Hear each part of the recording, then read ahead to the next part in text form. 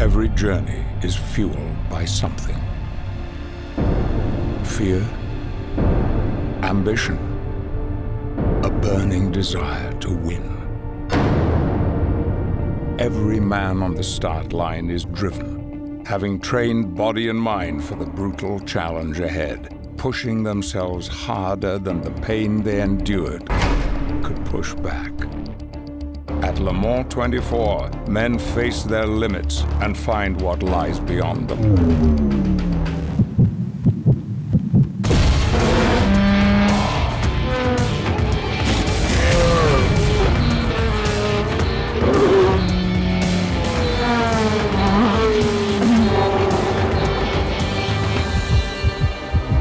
It's not the long, savage, sleep-deprived hours that make the difference between devastating loss and ultimate victory.